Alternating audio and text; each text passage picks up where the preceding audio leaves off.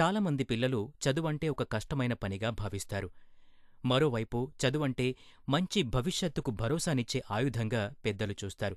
చిన్నప్పుడు బాగా చదువుకుంటే పెరిగి పెద్దయిన తర్వాత బంగారు భవిష్యత్తు ఉంటుందని పిల్లలకు పదే పదే చెప్పే ప్రయత్నం చేస్తారు. అనేక రకాలుగా పిల్లల్ని ప్రేరేపించాలని ప్రయత్నం చేసినా పిల్లలు కూడా తమను తాము ఎంతగా ప్రేరేపించుకున్నా చాలామందికి చదువనేది ఒక కష్టమైన పనిగానే మిగిలిపోతోంది. ఇలా జరగడానికి కారణాలు ఏమిటనేది తెలుసుకోవటానికి సైకాలజీలో ఎన్నో ప్రయోగాలు మరెన్నో పరిశోధనలు జరిగాయి. పిల్లలు ఎలా నేర్చుకుంటారు ఎలా ఆలోచిస్తారు ఎలా గుర్తుపెట్టుకుంటారు రకరకాల సమస్యలకు పరిష్కారాలు ఎలా కనిపెడతారు అనే విషయాలపై సైంటిస్టులు పరిశోధనలు చేసినప్పుడు తేలిన విషయమేమిటంటే మనుషులు కొన్ని విషయాల్ని అతి సులభంగా నేర్చుకోగలిగితే మరికొన్ని విషయాలు నేర్చుకునేటప్పుడు తప్పనిసరిగా కష్టమనిపిస్తుంది. ఉదాహరణకు మాతృభాషనే తీసుకుంటే మాట్లాడడం నేర్చుకున్నంత సులభంగా చదవటం రాయటం నేర్చుకోలేరు. మ్యాథ్స్ సైన్స్ వంటి సబ్జెక్ట్స్ నేర్చుకునేటప్పుడు ప్రత్యేకమైన కోచింగ్లు ట్యూషన్స్ కూడా అవసరమవుతూ ఉంటాయి. మానసిక శాస్త్రవేత్తలు గుర్తించిన దాని ప్రకారం అన్ని సబ్జెక్ట్స్ సమానం కాదు. సబ్జెక్టును బట్టి కఠినత్వం మారుతుంది. కఠినమైన విషయాలు పిల్లలకు ఎలా సులభం చెయ్యాలనేదే మన ముందున్న ఛాలెంజ్. ఇంట్లో అమ్మానాన్నలు ఉపాధ్యాయులు.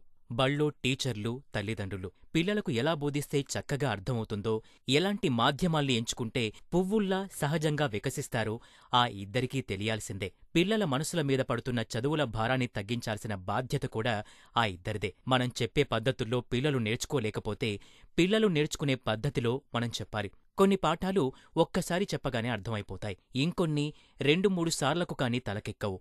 మరికొన్ని పదిసార్లు బోధించినా కొరుకుడు పడవు. కారణం చిట్టి బుర్రలపై చెట్టంత భారం. పుస్తకాల సంచి బరువును మించిన తీవ్ర సమస్య ఇది. ఎందుకిలా అవుతోంది? కారణాలేంటి?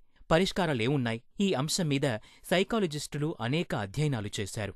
పిల్లలపై ఒత్తిడిని తగ్గిస్తూ వివిధ విషయాల్ని సులభంగా శాస్త్రీయంగా ఎలా బోధించవచ్చనే అంశాలపై ఎంతో విలువైన సమాచారాన్ని ప్రముఖ educational psychologist doctor Desineni Venkateswararao గారు తాను రచించిన పిల్లలకు చదువంటే ఎందుకు కష్టం అనే పుస్తకంలో పొందుపరిచారు. ఈ పుస్తకం అటు ఉపాధ్యాయులు ఇటు తల్లిదండ్రులతో పాటు పిల్లల చదువుతో సంబంధం కలిగిన ప్రతి ఒక్కరూ తప్పక చదవదగిందే. ఈ పుస్తకాన్ని ప్రముఖ ప్రచురణా సంస్థ ఎమెస్కో బుక్స్ పబ్లిష్ చేసింది. ప్రతులకు WWW dot Emesco books dot కామ్ను సంప్రదించవచ్చు. అమెజాన్ ఫ్లిప్కార్ట్ వంటి ఆన్లైన్ స్టోర్స్లో కూడా లభిస్తుంది. ఈ సమాచారాన్ని డాక్టర్ రావుస్ ఫౌండేషన్ తన ప్రాజెక్ట్ హ్యాపీ లెర్నింగ్లో భాగంగా రూపొందించింది.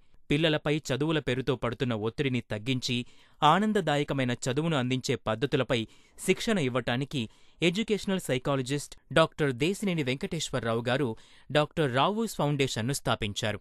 ఈ సమాచారం ఉపయోగకరమైందిగా మీరు భావిస్తే దయచేసి షేర్ చేయండి.